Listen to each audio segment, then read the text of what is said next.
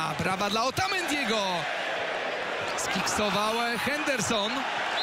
Jest tam jeszcze Mohamed Salah, podniesiona chorągiewka sędziego asystenta na spalonym skrzydłowy Derec. Ale więcej ciekawych rzeczy dzieje się pod bramką Manchesteru City. Liverpool naprawdę wygląda... w linię obrony Manchesteru City. Ale jeden moment zagapienia i muszą piłkarze z Anfield odrabiać straty, a teraz dogranie prawą nogą Salaha i skuteczna interwencja Edersona. Dobre są te liczby Kevina De Bruyne w meczach. Mendy. Emre Can.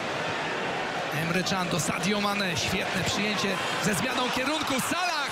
Salah czy będzie jeden do jednego? Nie! Ederson czytał go jak książkę. Przeczytał go po prostu jak zdanie Alama Kota.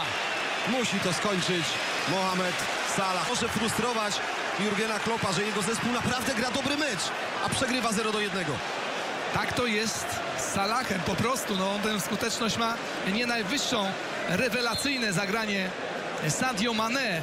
Przede wszystkim ten moment przyjęcia, odejścia od przeciwnika, no a później no już tylko mógł trzymać kciuki za Egipcjanina, e, by nie zmarnował pracy wykonanej.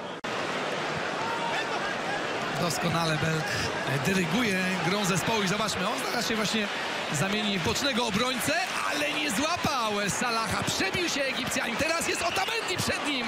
Salah jeszcze próbował założyć siatkę Mendiemu. Też bardzo rozsądnie postąpił Argentyńczyk, odpuszczając faulowanie skrzydłowego.